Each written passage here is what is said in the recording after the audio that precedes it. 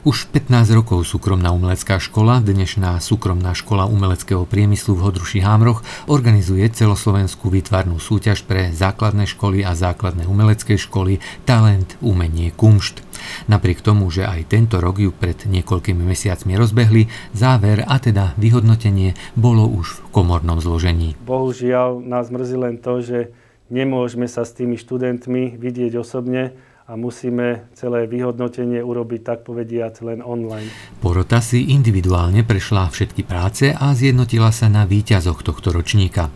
Opätovne boli udelené ceny v troch kategóriách. Výtvarný návrh, hotový výrobok a fotografia.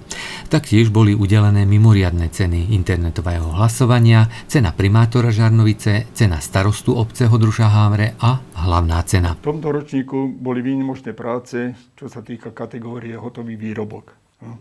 Boli to práce už, by som povedal, skoro na profesionálnej úrovni, kde bolo ťažko rozhodnúť, ktorá práca bude na tom prvom mieste, druhom mieste, treťom mieste. A zase v tejto kategórii sa nedá hodnotiť tá práca, lebo sú tam miniatúrne práce, no, sú tam práce väčšie rozmerové a tak ďalej. Takže to porovnanie tých prác a ktorá práca je vlastne tá najlepšia, je ťažko povedať. Škola, teda organizátor, urobili v piatok virtuálne vyhodnotenie a cez video na internete sa spojili a na diálku ocenili tých najlepších. Diplomy a finančné ocenenia budú posielať víťazom poštou. Aj keď tento rok to nemalo tú pravú slavnostnú atmosféru, organizátori sa tešia aspoň z dobrej účasti.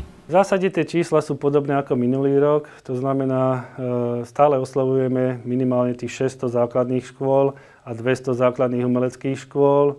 E, tých prác e, každoročne chodí za posledných 5 rokov niekde v rozmedzi od tých 200 do tých 350 prác. Čiže aj tento rok môžeme povedať, že bol v tomto rozmedzi a takisto úspešný. 15. ročník celoslovenskej výtvarnej súťaže Talent umenie Kumš teda úspešne prebehol, aj keď v nezvyčajných podmienkach. Organizátori dúfajú, že ten budúci sa už všetci zídu v štandardnom zložení a navyše pripravujú už teraz veľkú propagačnú kampaň, pretože si dali za cieľ zvýšiť počet prihlásených súťažiacich.